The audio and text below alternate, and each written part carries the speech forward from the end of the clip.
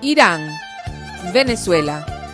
Dos naciones de paz, amistad, justicia social, integración e independencia.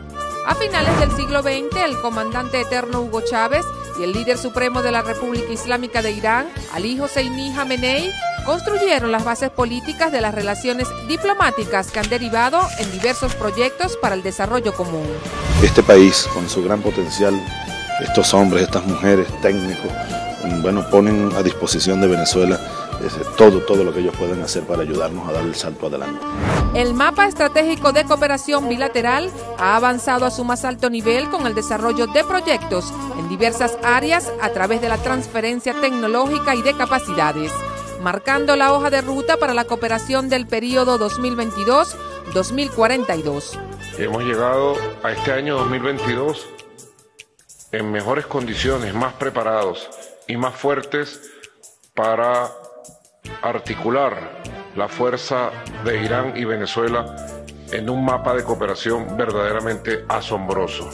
El presidente de la República Bolivariana de Venezuela, Nicolás Maduro Moros, y el presidente de la República Islámica de Irán, Seyed Ebrahim Raisi, han fortalecido las bases estratégicas de la Comisión Mixta de Alto Nivel Irán-Venezuela.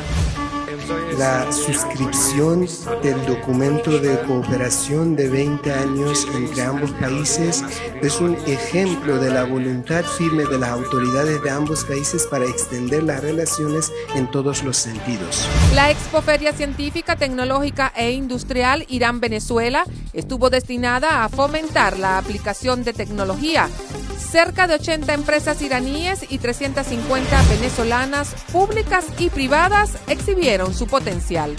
Se establecieron 866 citas de articulación y 200 intenciones de acuerdos comerciales.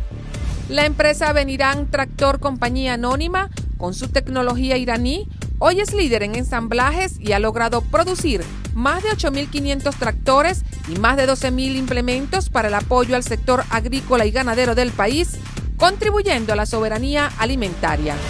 Gracias a los laxos que hay entre las dos naciones, ayuda mucho a la producción nacional en el campo porque ya que adquirimos nuestros alimentos a costos mínimos.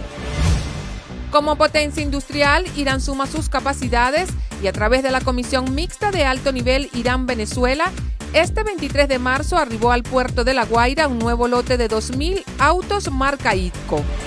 En el mapa de cooperación se recibió el segundo buque cisterna tipo Aframax de fabricación iraní, el buque Yoraco, que cuenta con capacidad para transportar hasta 113 mil toneladas de petróleo. La cooperación entre la empresa iraní Ramco y el complejo petroquímico Ana María Campos en el estado Zulia contribuye a la producción de fertilizantes para el desarrollo agrícola. Gracias a estos lazos de hermandad, se establecieron los acuerdos necesarios para la rehabilitación y puesta en servicio de la planta de fertilizantes. Se crea el Programa Nacional Semilleros Científicos y 25 jóvenes venezolanos fueron acogidos por Irán para formarse en materia de ciencia y tecnología.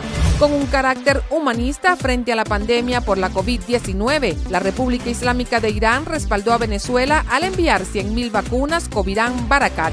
Irán y Venezuela, dos potencias energéticas y de desarrollo económico sostenido transitan unidas en la cooperación sur-sur con la autodeterminación por la construcción del nuevo mundo multicéntrico y pluripolar.